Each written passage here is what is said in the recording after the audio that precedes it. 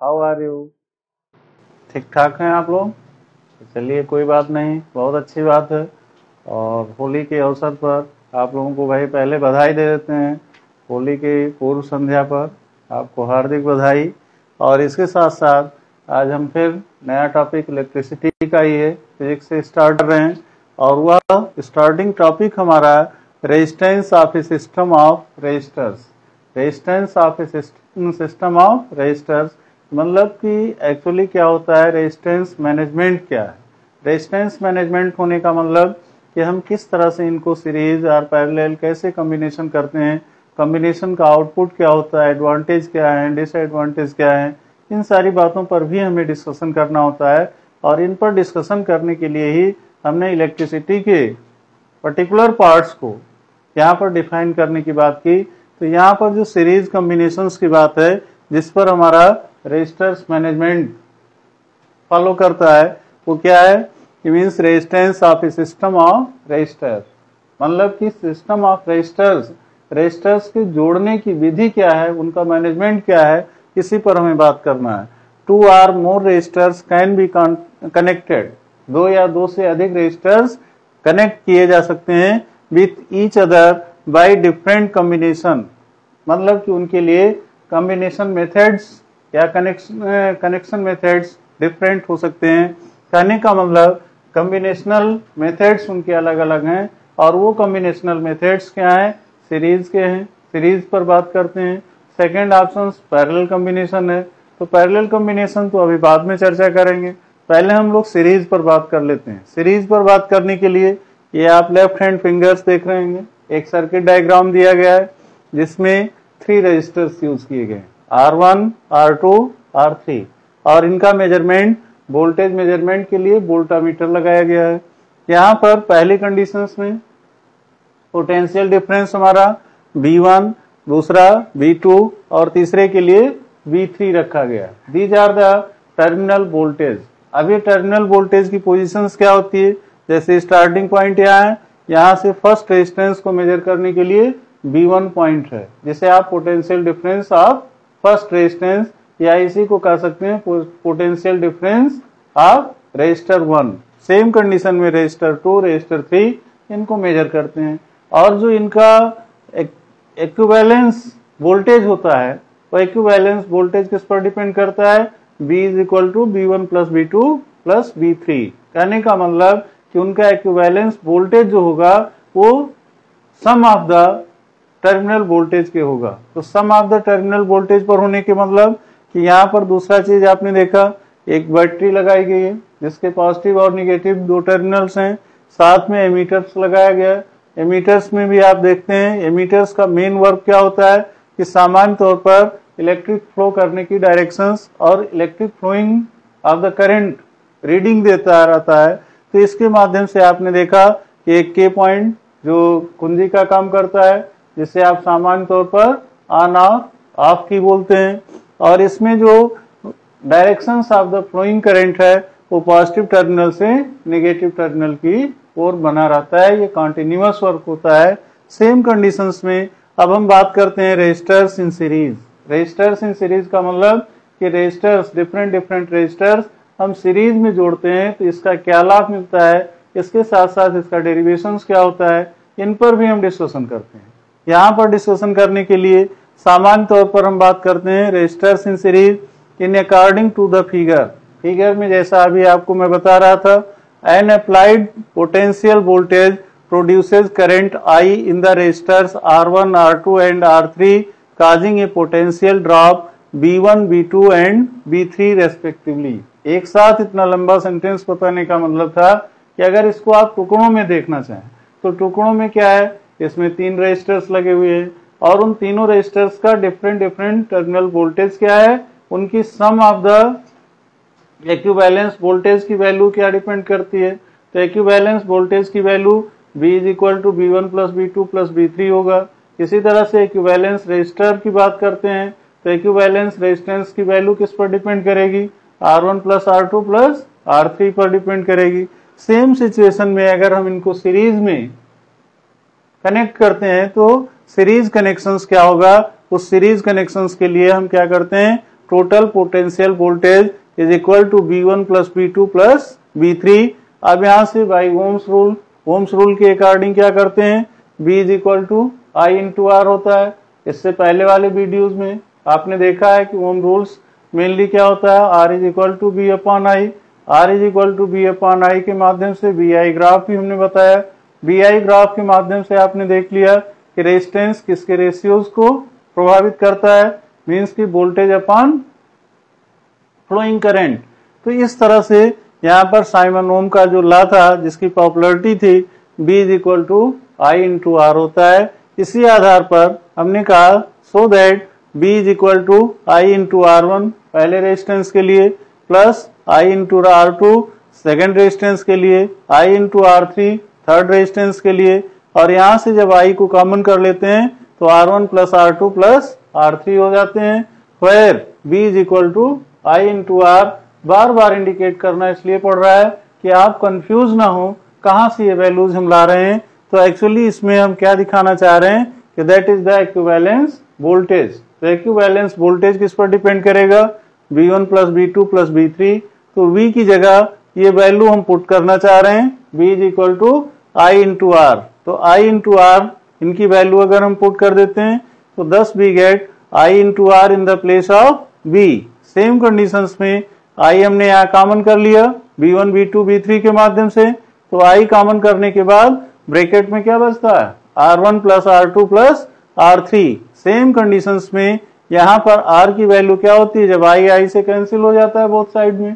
तो R is equal to R one plus R two plus three that is called the equivalence resistance अब ये equivalence resistance in the series conditions में तो series conditions में कोई भी circuit diagram हो, उसमें जो सीरीज़ फॉर्म में रेजिस्टर्स लगे हैं, उन रेजिस्टर्स को हम इजिली फाइंड आउट कर सकते हैं, उनकी एक्यूवैलेंस रेजिस्टेंस फाइंड आउट कर सकते हैं। इनकी क्या बेनिफिट्स हैं, इनके विषय में एडवांटेज पर हम चर्चा करते हैं कि equivalence resistance is equal to the sum of individual resistance sum of individual resistance is equal to the equivalence resistance. If equivalent resistance is greater than the resistance, अगर सपोज़ कीजिए कि equivalence resistance greater हो किससे the participated parts या individual parts of the resistance तो क्या conditions होगी? आप either resistance it is called maximum effective resistance तो ऐसी कंडीशंस को हम मैक्सिमम इफ़ेक्टिव रेजिस्टेंस बोलते हैं। कहने का मतलब कि इक्विवेलेंट रेजिस्टेंस की वैल्यू R1, R2, R3 किसी में से ग्रेटर देन हो या सब में ग्रेटर देन हो तो ऐसी कंडीशंस में वो क्या होगा? मैक्सिमम इफ़ेक्टिव रेजिस्टेंस का लाएगा the current through each resistance is same प्रत्येक रेजिस्टेंस में करंट क्या फ्लो करती है? सेम करंट फ्लो करती है। But potential difference is different in each resistor लेकिन प्रत्येक रजिस्टर में जो पोटेंशियल डिफरेंस होता है, उसकी वैल्यू डिफरेंट होती है, क्योंकि इससे पहले हमने कैलकुलेशन कर रखा है, b is equal to I into R one plus I into R two plus I into R three तो ये क्या इंडिकेट कर रहे हैं? दे आर डिफरेंट रेजिस्टेंस और डिफरेंट रेजिस्टेंस में वोल्टेज को भी मैंने दिखाया equivalence voltage is equal to V one plus V two plus V three तो इस तरह से आपने देखा कि जो सीरीज़ कॉम्बिनेशन होता है उस सीरीज़ कॉम्बिनेशन में एक्यूबैलेंस रेजिस्टेंस किस पर डिपेंड करता है? द इंडिविजुअल रेजिस्टेंस सम जो sum of the individual resistance होता है, उस पर डिपेंडेंसी किसकी होती है? एक्यूबैलेंस रेजिस्टेंस का। सेम कंडीशंस में एक्यूबैलेंस वोल्टेज किस पर डिपेंड करता है? Different parts of the potential difference या हम ये कह सकते हैं सम ऑफ़ टर्मिनल वोल्टेज तो सम ऑफ़ टर्मिनल वोल्टेज को अगर सपोज़ कीजिए, हम किसके इक्वल दिखा देते हैं? टोटल पोटेंशियल डिफरेंस या उसी को हम कह सकते हैं टोटल वोल्टेज तो V के इक्वल हो सकता है। तो सेम कंडीशंस में आई एम सॉरी कहने का मतलब कि पोटेंशियल डिफरेंस हमारा डिफरेंट तो हो सकता है बट इक्विवेलेंस रेजिस्टेंस ये भी डिफरेंट होगा, लेकिन जो फ्लोइंग ऑफ़ द करंट होगा इलेक्ट्रिक करंट होगा, वो कांस्टेंट वैल्यू होगी। वो इक्वल होगी प्रत्येक रेजिस्टेंस में। यही हमारा कहने का मीन्स था। अब इसी बेस पर नेक्स्ट एग्ज़ाम्पल की बात करते हैं। आई एम सॉरी कहने का मतलब कि जो एग्ज़ाम्पल हमारा बेस करता है, वो एग्ज़ाम्पल बेस कर रहा है कि सपोज़ कीजिए एक सर्किट डायग्राम जहाँ लेफ़्ट हैंड फिंगर हम रख रहे हैं। ये एक सर्किट डायग्राम है जिसमें तीन रजिस्टर्स लगे हुए हैं। पहला रजिस्टर्स हमारा फाइव ओम का है। दूसरा टेन ओम का है, तीसरा फिफ्टीन ओम का है। इसमें करंट जो फ्लो कर रही है, उसकी वैल्यू क्या है? आई दे रहा है। वोल्टेज जो यहाँ पर बैटरी लगी हुई है, उस बैटरी की वैल्यू क्या है? 12 वोल्ट दिया गया है। अब हम इसमें जानना चाह रहे हैं कि what is the value of equivalent voltage या वोल्टेज के साथ साथ हम ये जानना चाहें कि एक्यूवेलेंट रेजिस्टेंस की वैल्यू क्या होगी तो इनको भी हम फाइंड आउट कर सकते हैं। I am sorry. इस मौसम के नाते गला खराब चल रहा है, लेकिन कोई बात नहीं।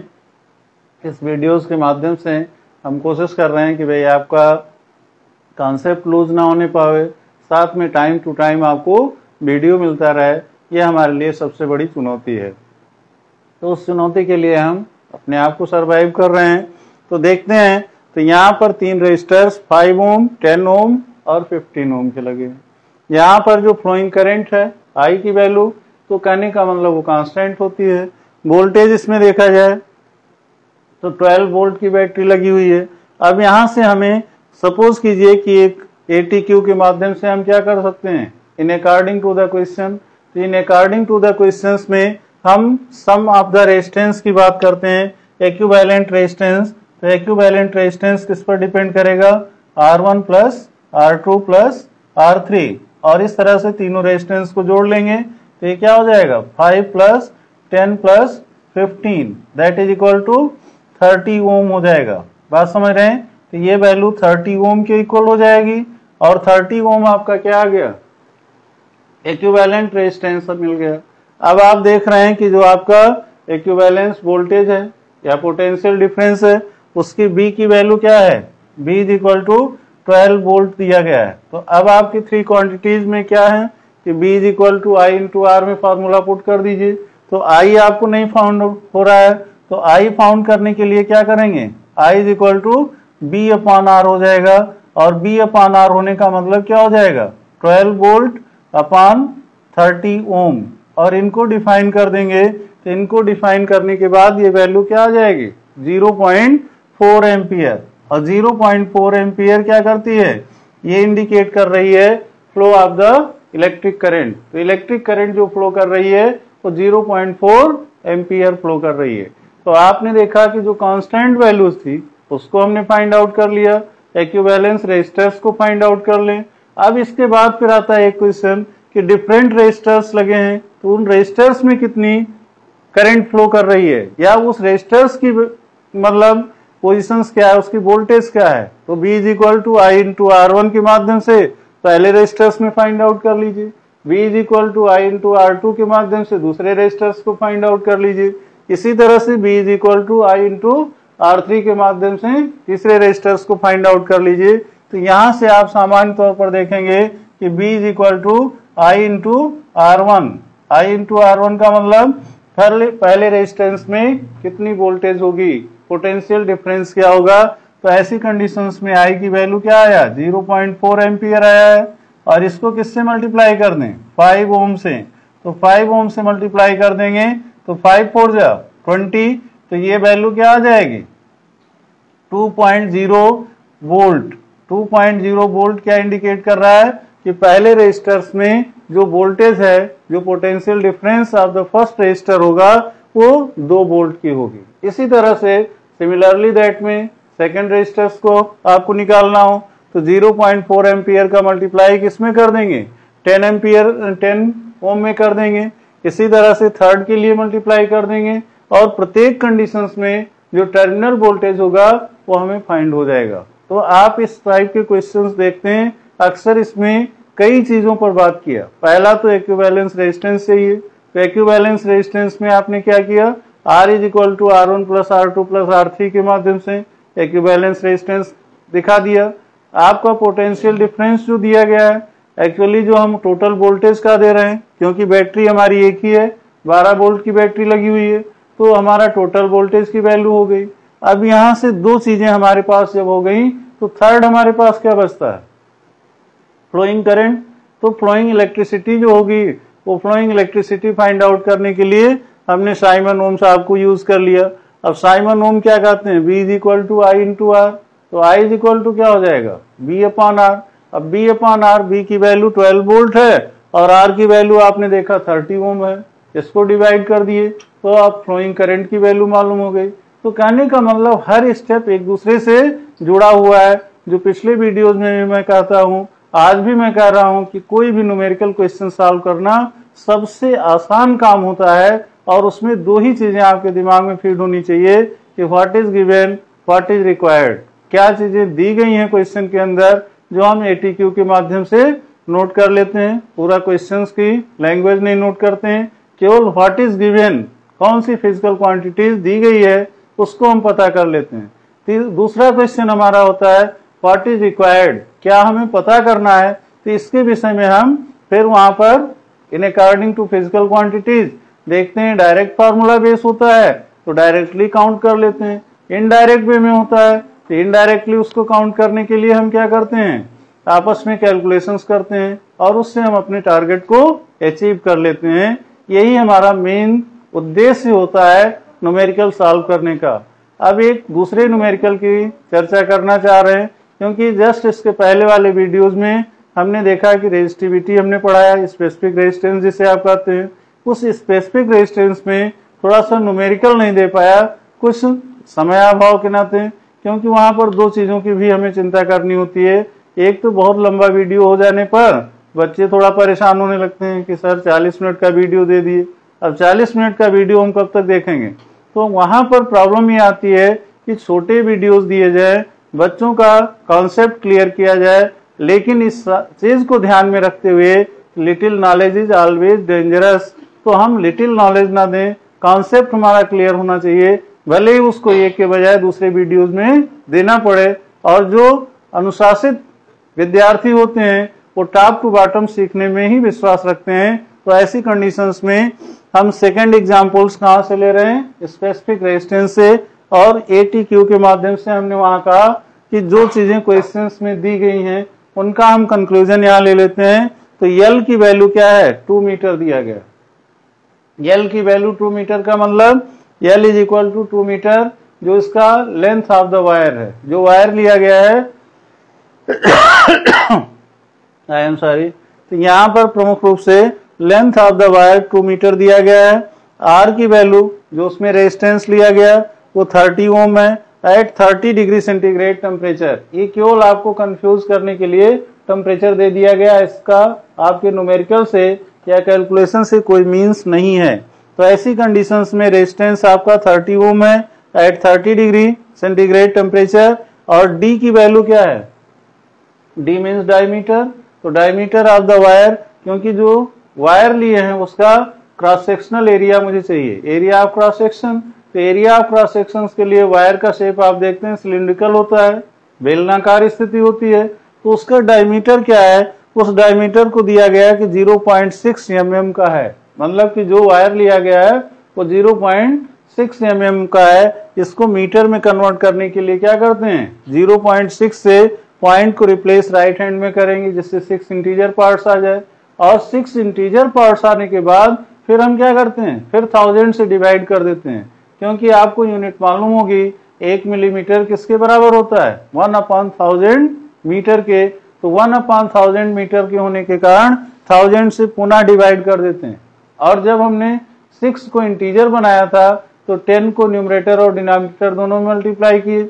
न्यूमरेटर ने तो इसको इंटीजर कर दिया, सिक्स पॉइंट ज़ीरो ज़ीरो कर दिया।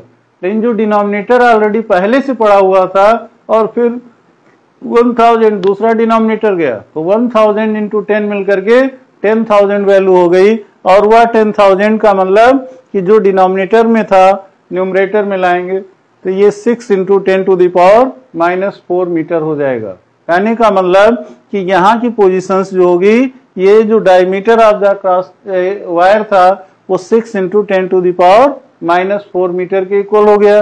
अब हम बात करते हैं कि नाउ रेजिस्टिविटी ऑफ़ वायर या स्पेसिफिक रेजिस्टेंस जिसे रो एक ग्रीक लेटर्स होता है, इसके माध्यम से नोट करते हैं। तो पहले हमने आपको फार्मूला पढ़ाया ही था। कि वहाँ की वैल्यूज़ क्या थी? कि स्पेसिफिक रेजिस्टेंस को हमने डिफाइन किया था मतलब स्पेसिफिक रेजिस्टेंस हमारा किसके होता है? Rho into L upon A की पोजिशन थी। तो एल अपॉन ए की पोजिशन को अब हम रो के रूप में फाइंड आउट कर रहे हैं और उसमें एरिया ऑफ़ क्रॉस सेक्शन निकालना है। तो ऐसी कंडीशन में rho is equal to R A upon L हो जाएगा और आर ए अपॉन एल का मतलब आर तो आपका रेजिस्टेंस है और ये for area of cross section है। तो area of cross section pi D square upon four होता है। यहाँ पर मतलब हमने cylindrical shape of the wire की एरिया ऑफ़ क्रॉस सेक्शन निकालने की कोशिश किया है। तो ऐसी कंडीशंस में R pi D square upon four L में ये वैल्यू पुट कर देते हैं। तो R pi pi D square R की वैल्यू यहाँ लेफ़्ट हैंड फिंगर्स आप देख रहे हैं थर्टी ओम था। आर की वैल्यू मैंने रख दिया। पाई की value three point one four रख दिए। थ्री पॉइंट वन फोर रख देने से मतलब क्या था कि जब हम देखते हैं पाई की value twenty two upon seven में कुछ कैंसिल होने वाले टर्म्स होते हैं, जैसे सेवन या सेवन का मल्टीपुल्स होता है, तब तो हम ट्वेंटी टू अपॉन सेवन रखते हैं। अदरवाइज़ उसको हम थ्री पॉइंट वन फोर रख करके काम चला लेते हैं और इंटू डी की जगह डी स्क्वायर है तो पाई डी स्क्वायर डी की value six into ten to the power minus four है। इसका होल स्क्वायर कर दिए। यूनिट भी इसकी मीटर स्क्वायर हो गई। सेम कंडीशन में four into length of the wire two meter है तो फोर टू जा एट आ गया। अब इनको आपस में कैलकुलेशन जब करते हैं तो thirty into three point one four का मल्टीप्लाई कर लेते हैं तो ninety four point two zero आ जाता है। और इंटू सिक्स का स्क्वायर मीन्स थर्टी सिक्स है into ten to the power minus four का square ten to the power minus eight है। अब एट से डायरेक्टली थर्टी सिक्स डिवाइड नहीं होगा तो फोर से डिवाइड कर दो।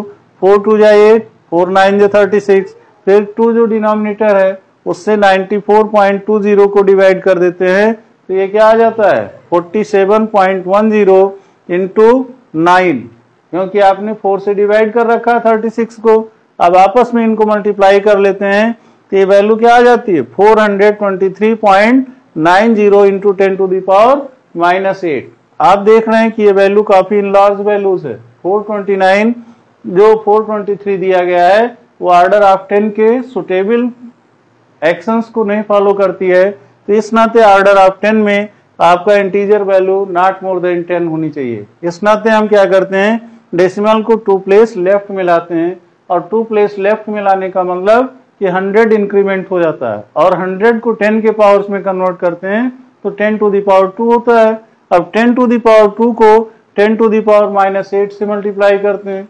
तो एक का पॉजिटिव पावर और दूसरे का नेगेटिव पावर इस नाते सब्ट्रैक्ट हो जाते हैं। तो एक्चुअली इसकी वैल्यू फिर क्या आ जाती है? 4.239 point two three nine into ten to the power minus six क्योंकि आठ में से दो घाट माइनस आपने कर दिया तो ten to the power minus six हो गया। इसकी यूनिट क्या हो गई? ओम मीटर जो स्पेसिफिक रेजिस्टेंस की यूनिट होती है एसआई यूनिट अब उसी के अकॉर्डिंग फिर क्या करते हैं? इसकी और नियरेस्ट वैल्यू अगर हमें निकालना हो तो और नियरेस्ट वैल्यूज़ में हम क्या कर सकते हैं कि वन आर टू डिजिट पर राउंड ऑफ़ कर देते हैं। तो ऐसी कंडीशंस में यहाँ की वैल्यूज़ क्या आ जाएगी? 4.2 point two into ten to the power minus six newton I am sorry ohm meter हो जाएगा। क्योंकि ओम मीटर जो है स्पेसिफिक रेजिस्टेंस की यूनिट होती है। अब एक लास्ट पॉइंट रह गया। In the case of series combination series combination की बात होती है, हम घरों में क्यों नहीं सीरीज़ कॉम्बिनेशन करते हैं सीरीज़ कॉम्बिनेशन ऑफ़ रजिस्टर उसका रीजन क्या होता है कि जो हम वायरिंग करते हैं सपोज़ कीजिए उसमें एक रजिस्टर्स भी डिस्टर्ब हुआ तो उसके कारण जो हमारी सप्लाई है, वो डिस्टर्ब हो जाती है। तो इस नाते घरों की वायरिंग करने में अक्सर क्वेश्चन पूछ लिया जाता है, क्यों नहीं हम सीरीज़ कॉम्बिनेशन करते हैं? तो सीरीज़ कॉम्बिनेशन ना करने का एक प्रमुख कारण ये होता है, और वहाँ पर आप देखते हैं कि रेजिस्टेंस इक्विवेलेंट रेजिस्टेंस किस पर डिपेंड करता है? R one plus R two plus R three for example that मान लीजिए कि हम तीन लोगों के ऊपर निर्भर हैं और उन तीन लोगों में से एक ने मेरा पैर खींचना शुरू कर दिया। तो जब एक पैर खींचना शुरू कर देगा तो ऑटोमेटिक हम विकलांग हो जाएँगे। तो ये सेम कंडीशन आ जाती है कि यहाँ पर प्रमुख रूप से जो एक्विवेलेंस कॉम्बिनेशन की बात करते हैं, वो एक्विवेलेंस कॉम्बिनेशन सीरीज़ कॉम्बिनेशन के अकॉर्डिंग बेटर सपोर्ट नहीं करती। तो यहाँ पर प्रमुख रूप से हमें सीरीज़ कॉम्बिनेशन घरों में यूज़ करना नहीं चाहिए। ठीक है? तो इनके साथ साथ हम अगले वीडियोज़ में आपको पैरेलल कॉम्बिनेशन की बात करेंगे और उस पैरेलल कॉम्बिनेशन के साथ साथ कुछ स्पेसिफिक न्यूमेरिकल होंगे। तो अभी ये मान के हम चल रहे हैं कि नियर अबाउट थ्री वीडियोज़ अभी है। इसमें हमें इलेक्ट्रिक चैप्टर पर बनाना है। साथ में एक बार फिर से आज चूँकि होली का एक शुभ मुहूर्त है, आप देख ही रहे हैं, फाल्गुन पूर्णिमा तिथि है और पूर्णिमा की तिथि के दिन क्या होता है? होलिका दहन किया जाता है। होलिका जो थी? हिरण्य कश्यप की बहन थी, लेकिन उसने भी भाई का साथ देने के लिए क्या किया? सामान्य तौर पर गलत का संरक्षण लिया और गलत का संरक्षण करने के नाते आज प्रहलाद जैसे भक्त ने उसका दमन कर दिया। सामान्य तौर पर होलिका दहन इसी के बेस में मनाए जाते हैं। तो आप सभी लोगों को होलिका दहन की हार्दिक बधाई और साथ में हम प्रयास करते हैं कि आने वाले टाइम में आप अपनी अंदर की जो बुराइयाँ हैं, जैसी भी चीज़ें हैं, उनको भी आप एक नए युग के अनुसार, नए गुणों के द्वारा सिरोधारी करें। और ऐसा अगर आप करते हैं तो ये आपके लिए एक फ्यूचर अपॉर्चुनिटीज़ होगी। तो हम ही मानते हैं एक बार फिर से होली की हार्दिक बधाई आप सभी को और फिर नेक्स्ट वीडियोस में हम parallel combination of the resistors के विषय में डिस्कशन करेंगे। तब तक के लिए धन्यवाद।